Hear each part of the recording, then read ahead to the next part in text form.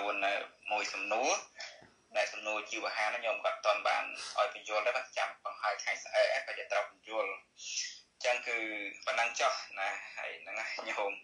បាសិកាដល់ស៊ីមរៀបប៉ុណ្ណឹងជូនពរធ្វើដំណើរសុខសុវត្ថិភាពតាមផ្លូវគ្រប់គ្នាអញ្ចឹងកម្មវិធីព្រះពុទ្ធសាសនានឹងទុកពេលវេលាសម្រាប់គៀនកណ្ណាព្រះអង្គគ្រូ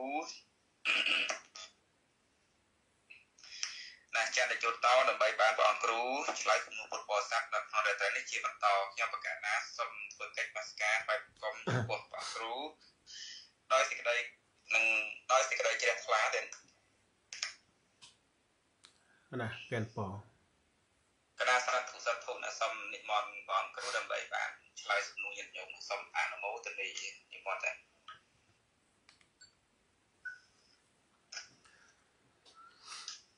ជាបឋមខ្ញុំកាលណាសូមថ្វាយបង្គំព្រះរតនៈទាំង3ដោយសេចក្តីគោរពនិងដោយសេចក្តីជ្រះថ្លាដល់ពងខ្ពស់សពសពការទាំងពួង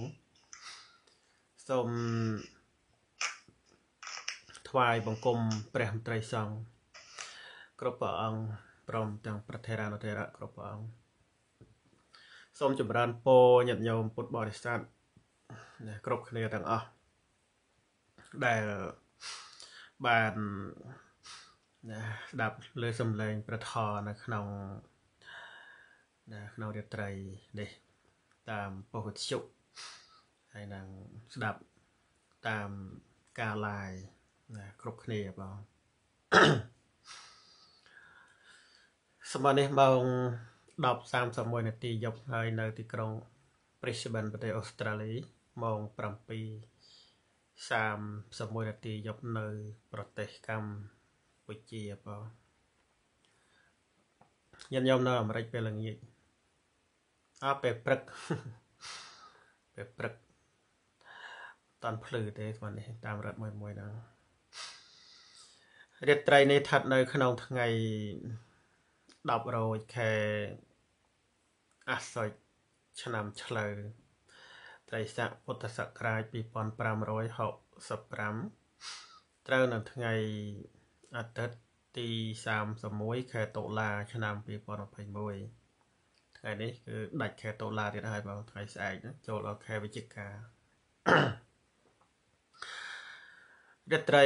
នេះខ្ញុំក៏បានធ្វើភាពនឹងបានឆ្លើយនៅសំណួរដែលញាតិញោមពុទ្ធបរិស័ទបានសាកសួរ តកតងទៅជាមួយនឹងគម្ពីរមហាប្រធានបងព្រោះសំមិញអត់បានឆ្លើយសំណួរច្រើនឆ្លើយមិនតាន់អញ្ចឹងរាត្រីនេះគឺចាប់ឆ្លើយសំណួរមហាប្រធានមុនបងមានពេលខាងចុងចាំឆ្លើយសំណួរនៅក្នុងព្រះសូត្របន្តទៀតបងហើយក៏សូមអនុមោទនានៅសេចក្តីព្យាយាមរបស់ញាតិញោមដែលបាន ណាព្យាយាមអានប្រធស្ដាប់ប្រធបានចេះចាំខ្លះណាផ្លេចខ្លះហើយមានសំណួរសាកសួរខ្លះបានអានជាធម្មទានខ្លះហ្នឹងហើយចូលរួមចំណែកក្នុងការផ្សព្វផ្សាយប្រធក្នុងពុទ្ធសាសនាបងញោមអបាសកខាង ខាងសើហ្នឹងគាត់សួរនៅក្នុងគម្ពីរមហាប្រធានហ្នឹងក៏សួរច្រើនដែរហើយប៉ុណ្ណាតាំងពីណាហេតុតបច្ច័យហោហេរន្តរបច្ច័យសមន្តរបច្ច័យអធិបតេបច្ច័យអីក៏សួរប៉ុន្តែគាត់បានសួរណាបន្តឬក៏ថយក្រោយគាត់ថាបាននៅក្នុងអនន្តរបច្ច័យបងអនន្តរបច្ច័យគឺ បច្ច័យដែលអឺมันមានចន្លោះមានន័យថាធរមួយ ជាបច្ច័យដល់ធរមួយទៀតដោយมันមានចន្លោះហ្នឹងជាឈ្មោះរបស់ពាក្យថាអនន្តរបច្ច័យហើយខ្ញុំក៏អាត្មាភាពបានឆ្លើយសំណួរគាត់ហ្នឹងគឺច្រើនដែរហើយនៅក្នុងបញ្ហាវិរៈណាបញ្ហាវិរៈនៅក្នុងអនន្តរបច្ច័យហ្នឹង គឺមាន7បញ្ហាវរៈអាហ្នឹងបើយើងអឺគិតនៅក្នុងបៃដកហ្នឹងនៅក្នុងគម្ពីរព្រះបឋមណាបៃដកលេខ5អះបៃដកលេខ94ដែរណាបៃដកលេខ94ណាម្ដែងនៅក្នុងគម្ពីរមហាប្រធានហ្នឹងណាគឺយើងអឺ គិតនៅក្នុងបញ្ហាវរៈរបស់អន្តរបច្ច័យបែរដល់លេខ94ទំព័រ2 241 242 243ទៅបញ្ហាវរៈនៅក្នុងបៃដកហ្នឹងគឺមានតែ7ទេដោយឡែកនៅក្នុងមេរៀនក្នុងមហាបដ្ឋានដែលណា លោកគ្រូអគ្គបណ្ឌិតធម្មចាវសុវងគាត់បងរៀនដល់ប្រសងពុទ្ធបរិស័ទហើយហ្នឹងបានសរសេរជាសភៅបញ្យលនៅក្នុងនោះ គឺពន្យល់អង្គធរច្រើនពន្យល់អង្គធរច្រើនបំបីអង្គធរច្រើនទៅដូចជាបញ្ហាវិរៈណាទី5នៅក្នុងបេដកហ្នឹងគឺបញ្ហាវិរៈទី5ណាអព្យាកតៈធរ ជាបច្ច័យដល់អព្យាកតៈធរណាបរិមាបរិមាអព្យាកតាទេហមេបច្ឆមាណੰបច្ឆមាណੰអព្យាកតាណੰធម្មេណងអនន្តរបច្ចយេបច្ចយោអព្យាកតៈធរដែលកើតមុនមុនជាបច្ច័យដល់អព្យាកតៈធរដែលកើតក្រោយក្រោយដោយអនន្តរបច្ច័យចឹងអព្យាកតៈធរក្នុងទីនេះគឺបានដល់វិបាកចិត្ត សង្ខេប36ដួងកិរិយាចិត្ត20ដួងហើយនឹងចិត្តសឹកដែលកើតរួមជាមួយ38វាចុតទៅចិត្តរបស់ព្រះរហន្តដូច្នេះអព្យាកតៈធោដែលកើតមុនមុននេះរួមជាអង្គធបរមត្តគឺវិបាកចិត្ត36សង្ខេបគេយកចិត្ត20មកបានបូកសរុបទៅគឺ56ហើយនៅចិត្តអសឹក38ដែលកើតរួមជាមួយ ណាដែលកើតមុនមុនណាដែលកើតមុនមុនហ្នឹងគឺជាបច្ច័យជាបច្ច័យដល់ណាអព្យាកតៈធម៌ដែលកើតក្រោយក្រោយនឹងឯងដោយអនន្តរបច្ច័យដល់អនន្តរបច្ច័យចឹងគ្រាន់តែបល័យមួយវគ្គហ្នឹងគឺបាន អត្ថាធិប្បាយជាអង្គធរដោយលេខដោយលេខហ្នឹងមានរហូតដល់ទៅលេខរៀងទី1ដល់លេខរៀងទី34มันចប់នៅក្នុងបល័យមួយវគ្គហ្នឹងបងណាតែសភៅមហាប្រធានដែលដែលសរសេរដៃសម្រាប់បង្រៀនហ្នឹងគឺបល័យត្រង់ហ្នឹងលោកដាក់លេខរៀងដល់ទៅដល់ទៅ15ឯណោះប៉ុន្តែបើយើងគិតដល់3ដកគឺមានបានដល់បញ្ហាវិរៈទីទី5ទៅ ក្នុងមួយវគ្គហ្នឹងគឺមានលេខរៀងបញ្យលច្រើនដល់ទៅ34ហើយញោមឧបាសកដែលបានស្ដាប់ខ្ញុំនៅថ្មបញ្យលពីមុននោះគឺដល់លេខរៀងទី11អញ្ចឹងគាត់ឲ្យបញ្យលតលេខរៀងទី12នៅក្នុង បញ្ហាវរៈទី5ហ្នឹងញោមគាត់បាន ស្ដាប់ឲ្យគាត់ចំណាំទុកបានល្អបងសូមសូមសរសើរបងសូមសរសើរបងណាចឹងខ្ញុំកណ្ដាលថ្មភាពសូមសូមសារកាសែតបន្តិចទៅណាញោមណាហ្នឹងហើយសូមណាបញ្ជាក់ខ្លីតកតងដល់លេខរៀងទី10និងទី11ខាងដើមបន្តិចតើបងនៅក្នុងបញ្ហាវរៈទី5ហ្នឹងណា និយាយពីអព្យាកតធម៌ជាបច្ច័យដល់អព្យាកតធម៌ដោយអនន្តបច្ច័យហើយពាក្យទាំងអស់ហ្នឹងជាពាក្យដែលជ្រៅហើយជាពាក្យដែលគុណចាស់ញាតិញោមមិនងាយបានស្ដាប់ទៀតណាប៉ុន្តែមិនហួសវិស័យទេមិនហួសវិស័យទេគុណចាស់ញាតិញោមអាចគិតថាសួរធោជ្រៅឬក៏ឆ្លើយធោនឹងដូចជាស្ដាប់មិនយល់មិនដឹងថាធោអី អាដឹងជាការពិតបើសិនជាយើងមិនទាន់បានរៀនយើងមិនទាន់បានចាំមេតិកាអាដឹងយើងអត់ដឹងថាម៉េចមែនបងជាការពិតទទួលស្គាល់ណាតែសម្រាប់អ្នករៀនគឺអាចស្ដាប់បានព្រោះមេរៀននេះគឺមកតាំងពីបរិឆេទទី1ទី2ទី6រហូតរហូតមកទៅជារួមទៅគឺអភិធម្មមុនបរិឆេទហើយបានតេតតមកនៅក្នុងធម្មសង្កណីមកហោហែមក ណាគឺតេតតពីបៃដកលេខ78មកណាកុសលាធម្មាពួកធោតឡាយជាកុសល អង្គធัวបរមត្តបានដល់កុសលចិត្ត37ចិត្តសឹក38ចែកជាខណ្ឌជាអយតនៈជាធាតុជាសច្ចៈអីមកយើងរៀនមកពីនឹកមកបានចេះណាតែអកុសលាធម្មាពួកធัวជាអកុសល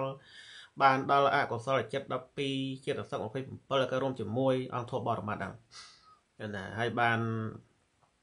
អព្យាកតាធម្មាពួកធัวជាអព្យាកតៈហ្នឹង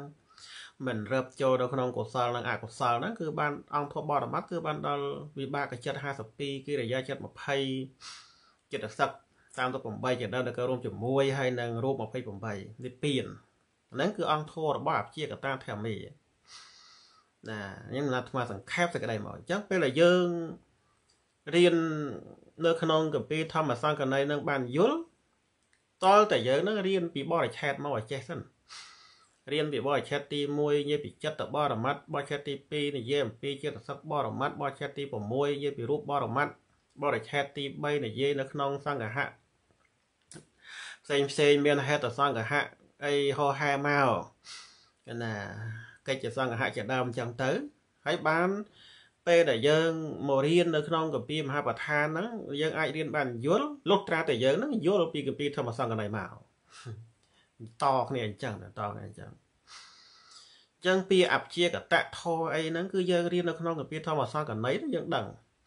តែបើគុណចាស់ញាតិញោមមិនបានរៀនពីធម្មសង្កណីមកទេអត់ដឹងថាអព្យាកតៈធរហ្នឹងជាស្អីទេហើយយើងតែងតែគិតថាអព្យាអព្យាកតៈធរគឺធរជាកណ្ដាលណា អ្នកខ្លះយល់ថាអព្យាកតៈធរនោះដូចអពេខាអញ្ចឹងគឺកណ្ដាលតែពិតមិនមែនទេណាតែណាអពេខាជាតួវេទនាទេណាជាតួវេទនាសោយអារម្មណ៍បង្ងើយបង្ងើយណាតែចំពោះអព្យាកតៈធរនោះមិនមែនប្រែថាបង្ងើយបង្ងើយមិនប្រែថាកណ្ដាលកណ្ដាលដូចអពេខាវេទនាទេពាក្យថាអព្យាកតៈធរនៅក្នុងទីនេះគឺធរដែលជាអព្យាក្រឹតហ្នឹងមកពីអីមកពីមិនរាប់មិនរាប់ចូលនៅក្នុង អឺពួកកុសលមិនរាប់ចូលនៅក្នុងពួកអកុសលអញ្ចឹងនៅចន្លោះហ្នឹង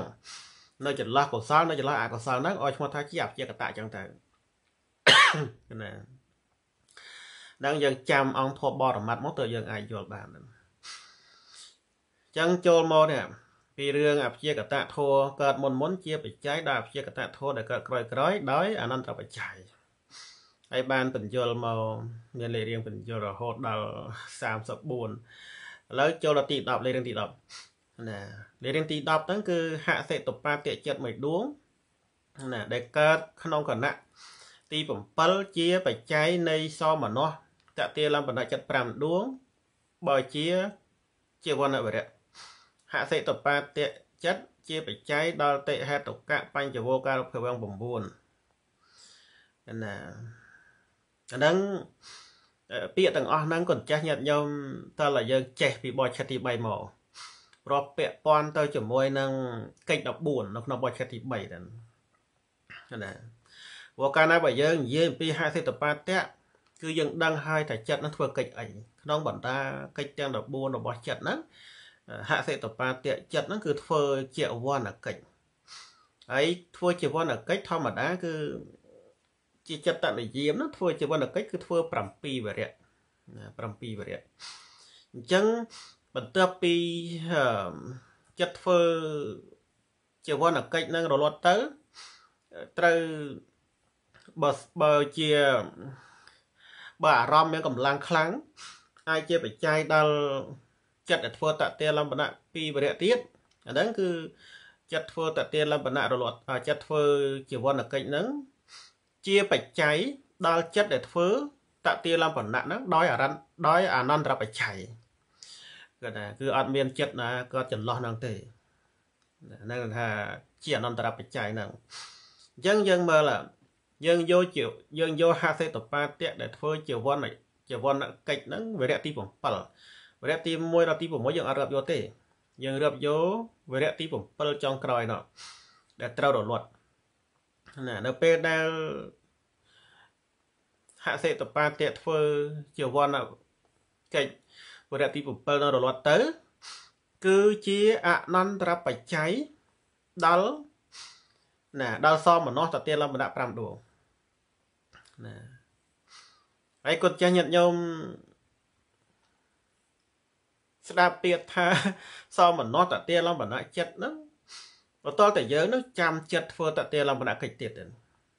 តាមពិតយើងហៅទៅតាមឈ្មោះរបស់កិច្ចចឹងបានថាសភៅមេរៀនពេលខ្លះវុនលវៈបន្តិចត្រង់ថាឈ្មោះរបស់ចិត្តហ្នឹងហៅទៅតាមកិច្ចឈ្មោះរបស់កិច្ចហៅទៅតាមចិត្តអីចឹងទៅដោយប្រើពាក្យតតទាលំបណៈចិត្តតាមពិតបើយើងនិយាយអំពីឈ្មោះតទាលំបណៈចិត្តគឺគ្មានទេណាប៉ុន្តែដោយការហៅទៅតាមកិច្ច ចិត្តនឹងធ្វើតទាលំបណៈកិច្ចចឹងទៅក៏ហៅថាតទាលំបណៈចិត្តចឹងទៅណាដូច្នេះយើងដឹងហើយថាចិត្តដែលធ្វើតទាលំបណៈកិច្ចមិនប៉ុន្មានគឺមាន11ឃើញណាមាន11ដួងណាមានមហាវិបាកចិត្តនឹង8មាននៅណាអឺអពេខាសន្តិរណៈនៅក្នុងកុសលវិបាកនិងអកុសលវិបាកនោះ មកខាងមួយខាងមួយអំពីហើយនឹងសមមនោសន្តិរណៈនៅក្នុងអហេតុកកុសលវិបាកមួយទៀតមកបានបាន11ហើយណាដែលយើងប្រើពាក្យថាអឺសន្តិរណៈចិត្ត3នោះហើយនឹងមហាវិបាកចិត្ត8បាន11ហើយ11ហ្នឹងយើងនិយាយពី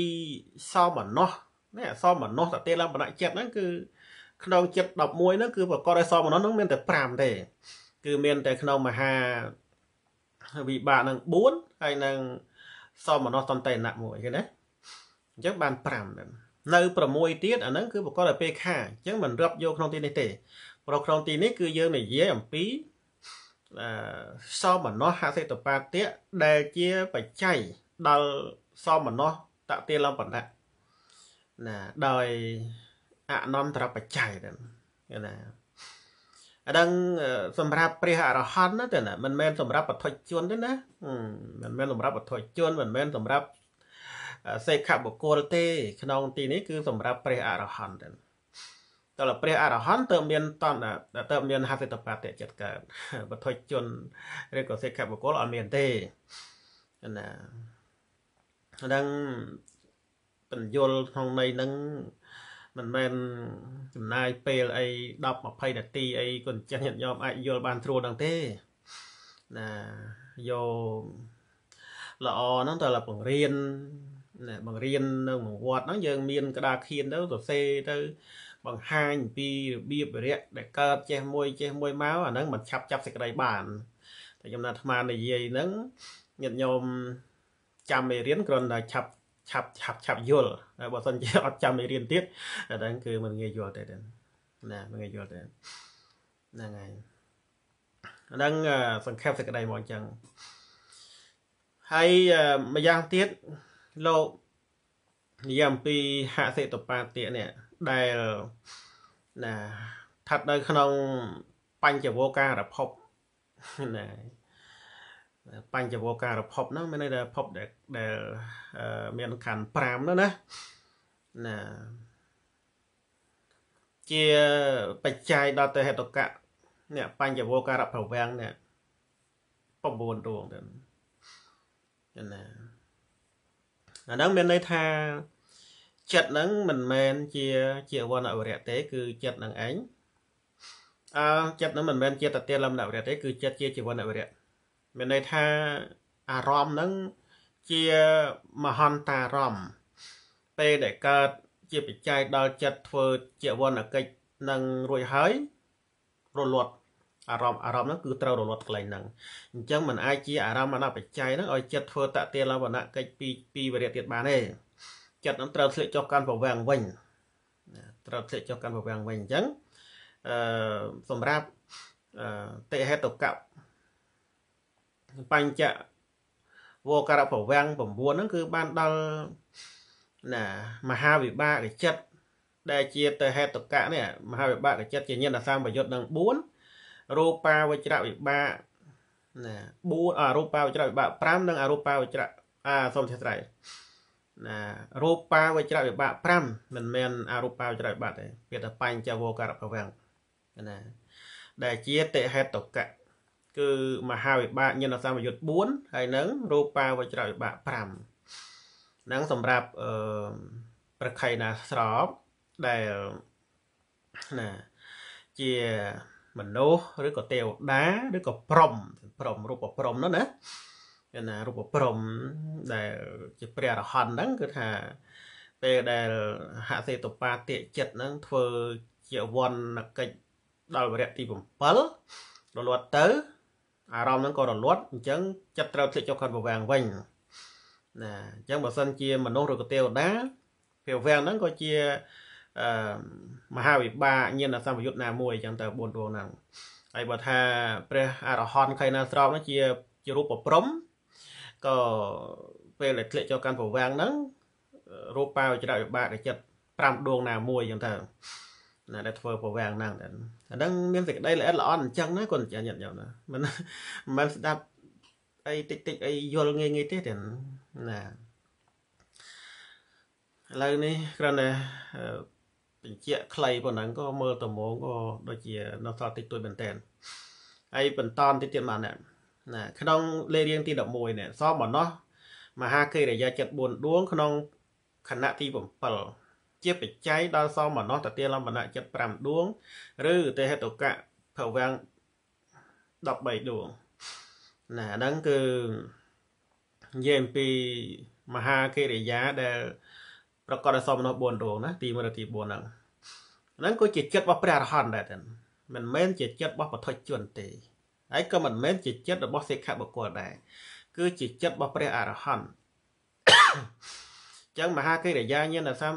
មហាកិរិយាបកលសមមនុស្ស4ដួងហ្នឹងជាអព្យាកតធោណាតែហើយធ្វើជាវណ្ណកិច្ចណាមហាកិរិយាធ្វើជាវណ្ណកិច្ចមហាកិរិយាចិត្តហ្នឹងក្នុងកិច្ច14ហ្នឹងគឺមហាកិរិយាហ្នឹងគឺធ្វើដោយជាវណ្ណកិច្ចមួយទេកិច្ច13ទៀតគឺមិនធ្វើទេ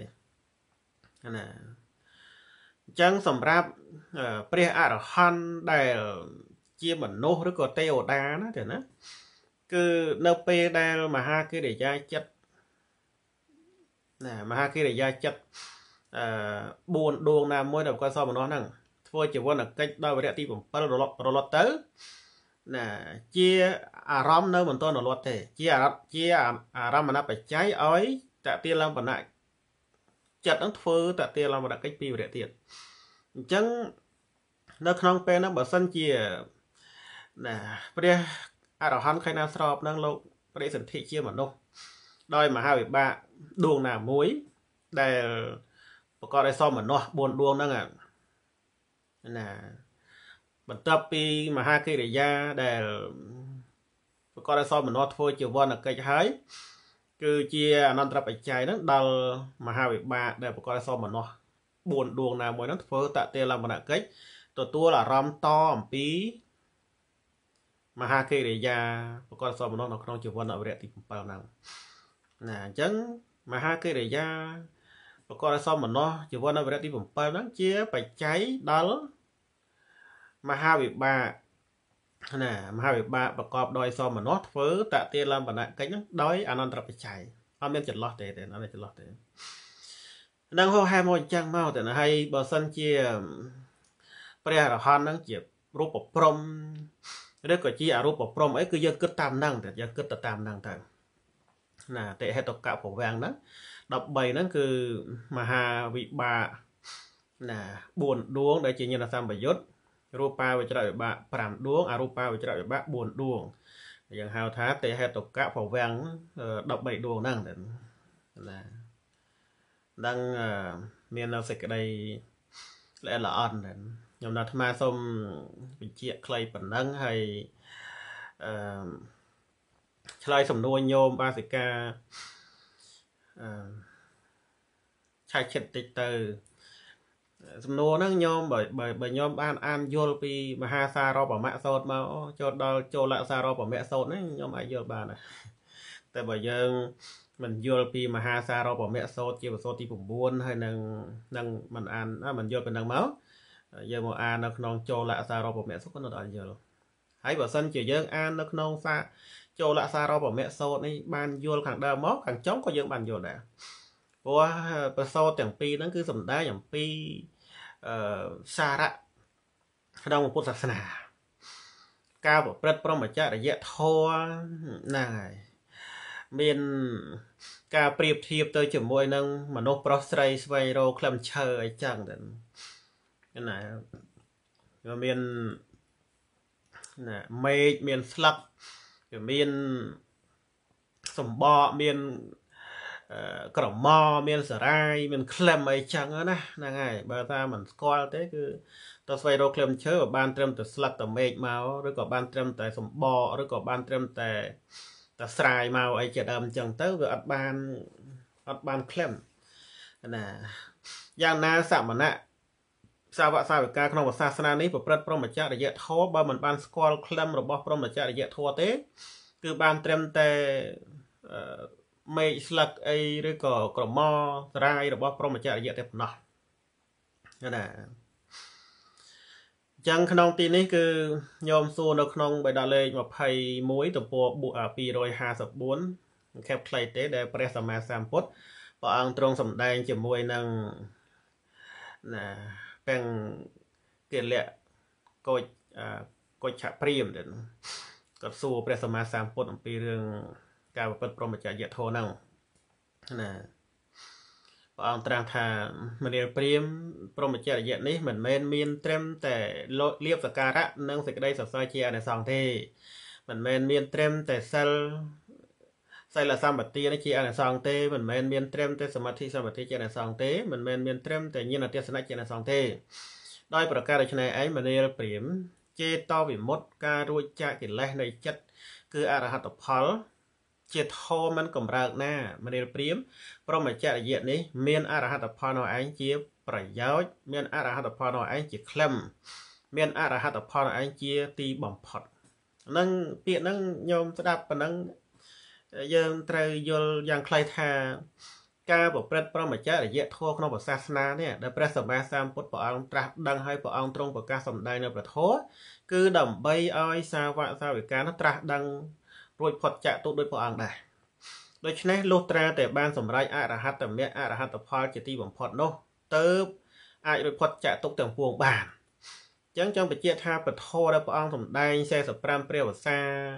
រួមជាបាវចនៈពីព្រាមប្រដៅ84000បឋមខណ្ឌហ្នឹងណាគឺព្រះអង្គឲ្យសាវកសាវិកាសិក្សានិងប្រតិបត្តិហ្នឹងដើម្បីបានសម្រេចអរហត្តមគ្គអរហត្តផលនោះឯងដែលជាក្លឹមពិតប្រកបណាជាក្លឹមពិតប្រកបរបស់ការប្រព្រឹត្តព្រមចរិយធម៌នោះបងហ្នឹងគឺក្នុងន័យចឹងទេបងណា ណាញោមនោះសៀមរៀបថាទូរស័ព្ទគាត់ចិត្តចប់ហើយកៀងកៀងកៀងកៀងវាជាមកពីអ៊ីនធឺណិតបងនឹងពេលដែលគាត់ពេលដែលព្រះសម្មាសម្ពុទ្ធព្រះអង្គទ្រង់សម្ដែងនៅពធហ្នឹងចប់ប្រសូតហ្នឹងទៅក៏ព្រាមគាត់មាននៅសេចក្តីជ្រះថ្លាសរសើរពធរបស់ព្រះអង្គហើយក៏សូមដល់នៅព្រះរតនត្រ័យជាទីពឹងទីរលឹកស្មើដល់ជីវិតជាអបាសកហ្នឹងចាប់ពីពេលនេះតទៅបងហើយខ្ញុំអាត្មាមានពេលច្រើនញោមអាត្មា វិជ្ជាសង្ខេបខ្លីខាងចុងប៉ុណ្ណឹងបងហើយនៅសំណួរញោមនោះខាងបឹងឃ្លាំងនោះចាំស្អែកទៅបងសំណួរនោះល្អណាស់បងនិយាយពីការធ្វើអមិសទានដោយសទ្ធាហ្នឹងបានល្អប្រសើរប៉ុន្តែបត់នៃធัวឯណាត្រឹមតែមួយគាថាដែលប្រព្រឹត្តទៅដើម្បីបានសម្រេចមគ្គផលនិព្វាននោះគឺប្រសើរជាងការធ្វើទានទៅទៀតហ្នឹងគឺចាំចាំថ្ងៃស្អែកបងខ្ញុំនៅអាត្មានឹងឆ្លើយជូនបងណាសូម បញ្ចប់ការអធិប្បាយបញ្យលធម៌នៅក្នុងគម្ពីរមកប្រធានប៉ុណ្ណឹងបងប្រគិនបនជូនបនគ្រប់ព្រះអង្គគ្រប់គ្នាបងសូមអនុមោទនីមកទេណាសាធុសាធុសូមអរគុណចំពោះការបងគ្រូបាននិមន្តឥឡូវនេះអស់ម៉ោងហើយញាតិញោមណាសម្រាប់ពរញោមបាសកកំសងនៅខាងកម្ពុជាក្រមផងពោសតុយ៉ាងណាបង ឥឡូវនេះសូមលាគុណចាស់ញាតិញោមគ្រប់ព្រះអង្គគ្រប់គ្នាហើយបងណាយប់កាន់តែរៀបត្រីហើយបងប្រកេនពោជូនពោគ្រប់ព្រះអង្គគ្រប់គ្នារៀបត្រីសួស្តី